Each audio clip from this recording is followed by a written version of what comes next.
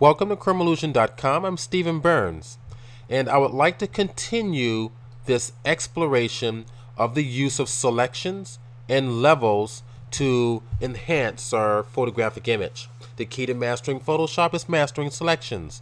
Selections and masks are exactly the same thing. Now, looking at the image here. We have several compositional elements that are competing with our primary subject, which is our concrete pillar, which is the, the leftover of a pier. And this was taken in Santa Cruz, California. So the background is too bright. It also has a sharpness to it that I think we can blur down to give it less competition with our primary subject matter. Let's go ahead and darken it down. We're going to utilize the levels that way. And then also we have the foreground information that's actually brighter than our primary subject and competing for attention. So let's go ahead and modify this image a little bit and see if we can improve upon it. Let's go ahead and apply selections. Now my background is pretty much a single color, so I'm going to go ahead and use my magic wand, select it, hold the shift key, continue to select, option and spacebar together and drag to the right will allow you to zoom in with subpixel levels zooming. Now, since we're in the magic wand, I'm holding down the shift key to add to my selection. Drag this over to the right a little bit, hold the shift key to add to my selection. Now, if I if I spill outward, I simply hold the option key and do it again, and it will take away. Now, shift add, and I'm gonna do the same here. It's done. And let's go over to the right hand side. Move this over a little bit and that is done. All right. So let's inspect the rest of the image. Zoom out a little bit and we've missed some of these areas down here in the deeper blue ocean.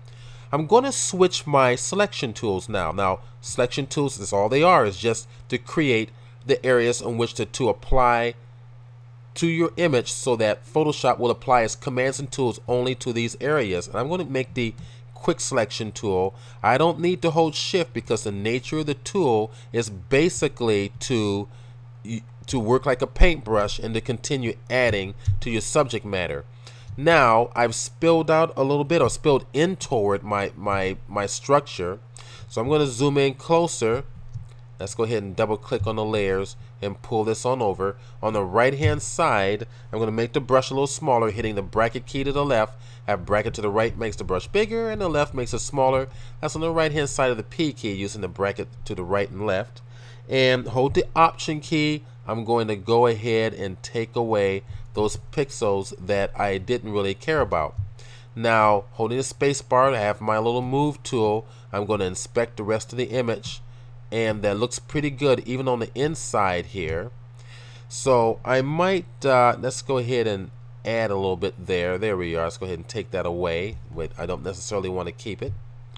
And I'm gonna come back over to here hold the option key and make sure that these edges are accurately selected. Zoom it down just a little bit so you can see what we're doing. And let's go ahead and paint this in. So this tool is learning. It's actually trying, it's actually remembering what it is you actually wanted to select. All right, so it's, it's telling us that, oh, you actually wanted to stop right here along this edge. So let's go ahead and bring it down.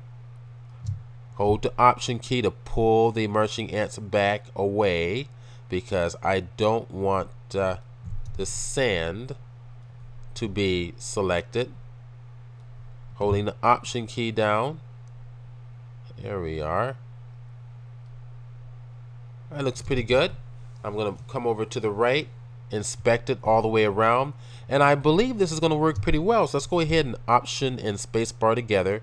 I'm going to pull to the right, and what I've already already done is I created a selection for my background. Now I've put in so much hard work into this selection. Let's actually save it, okay?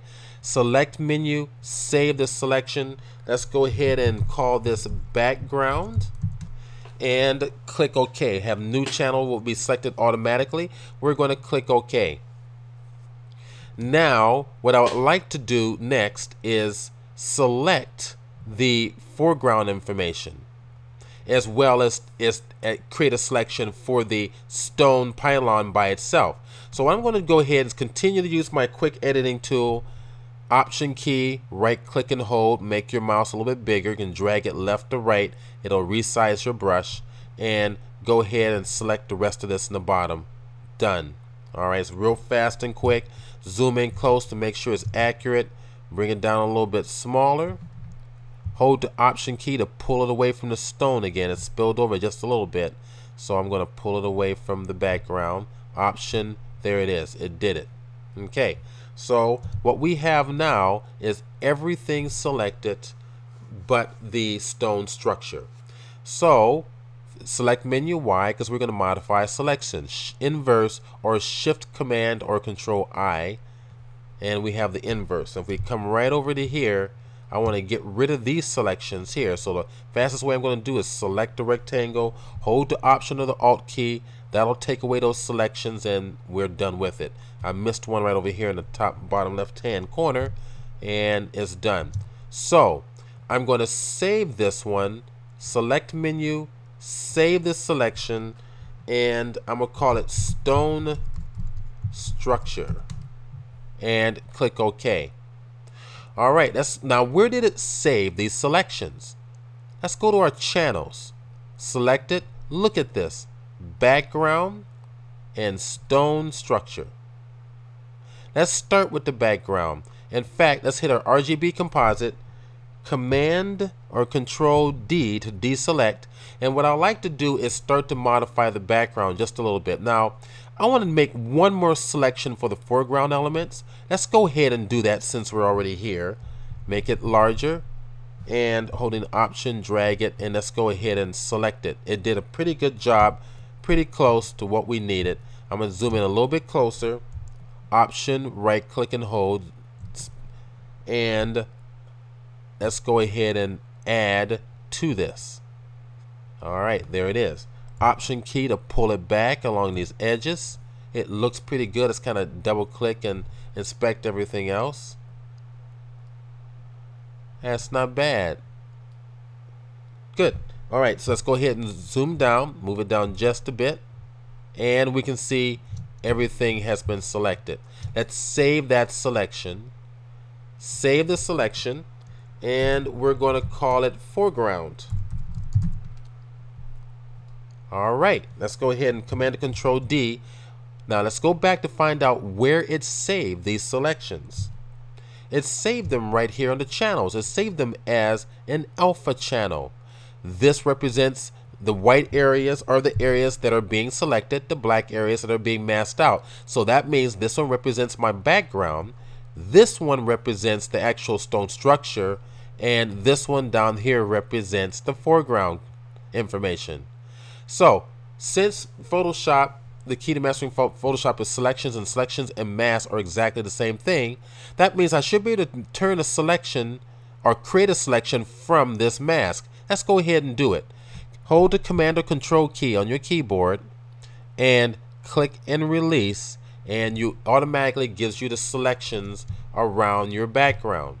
Now, let's go to command or control once again L for levels and let's let's go ahead and and hide my selection command or control H and go to my mid-tone information I don't want to increase the contrast for the background because I want I don't want to compete with my my foreground object there it is so I've brought down the the detail in the in the background. And I guess what I'd like to do next is, and I hit cancel by accident. So I'm going to hit Command to Control L, bring it down. That looks good, and click OK. All right. So when we come back, I'm going to continue to modify our primary subject and the foreground we're going to blur out the background so that the primary subject is really going to be popping forward.